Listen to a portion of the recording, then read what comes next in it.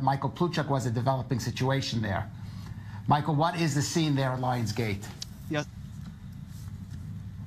Yes, Calev. At the moment, prayers are taking place. Prayers are uh, being conducted, as you can see, in the hundreds uh, in the street that leads just outside of the Lion's Gate. And uh, moments ago, chanting uh, had been going on for uh, the better part of uh, five minutes, I would say, where worshippers were quite literally yelling out to God, Ya Allah, oh God. Um, and now uh, prayer seems to have been um, resumed, I guess uh, you would say. Uh, and at the moment, these prayers are uh, still ongoing, uh, and there have been uh, no clashes at the moment, but the crowd is definitely in religious fervor at the moment. Here you can see they're getting up. The prayer has finished, and God is great is what's being cried out.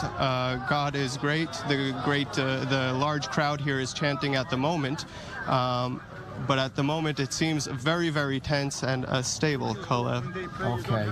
Uh, Michael Plutchok, of course, will be checking in with you uh, as that situation at Lionsgate develops. Uh, let's go back to our guests that we have here in the studio with us, former Israeli